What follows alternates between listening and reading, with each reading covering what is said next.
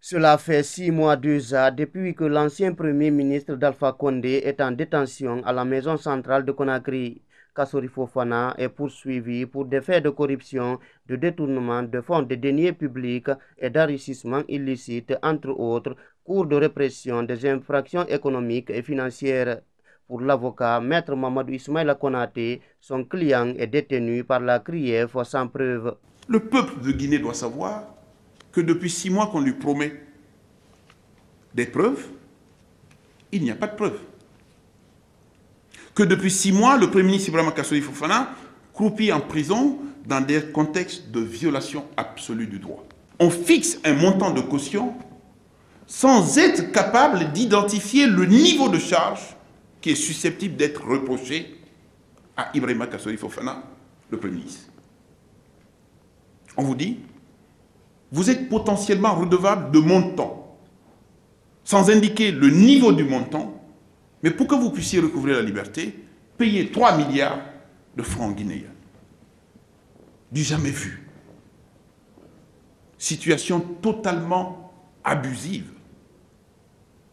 Il n'y a pas pire que l'abus de droit effectué par les gens de droit. En l'occurrence, ce abus-là est à rattacher aux gens de droit. Plusieurs fois, les avocats de Kassori Fofana ont plaidé par devant la CRIEF pour demander la libération de leurs clients. Mais cela est resté sans suite favorable vu la position opposée du procureur spécial et la chambre de contrôle de la CRIEF. De ce fait, et pour démontrer leur mécontentement face à cette situation, les avocats de Kassori Fofana ont à leur tour entrepris des actions. Alors nous avons fait deux, trois actions.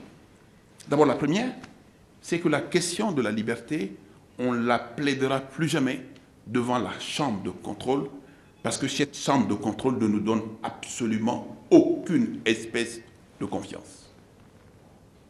Deux, nous avons saisi la Cour suprême, juridiction la plus haute dans le degré le plus haut, pour déférer non seulement les violations, mais en même temps l'acharnement d'un procureur spécial.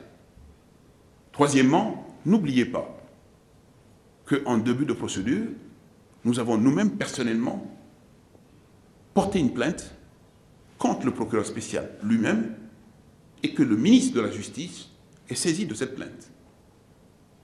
Quatrièmement, nous avons saisi également non seulement des juridictions à l'international, mais en même temps, nous allons multiplier les plaintes aujourd'hui, notamment au niveau de la Commission africaine des droits de l'homme et des peuples.